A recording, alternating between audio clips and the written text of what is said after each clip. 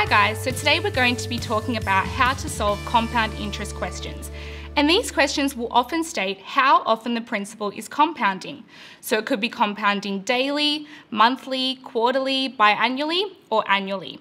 And we need to know how to adapt our compound interest formula to account for this. So we know that the compound interest formula is A equals P 1 plus R to the power of N. So when substituting our values from the question into this formula, we need to make sure that R and N are in the same units and that they account for how often the principal is compounding.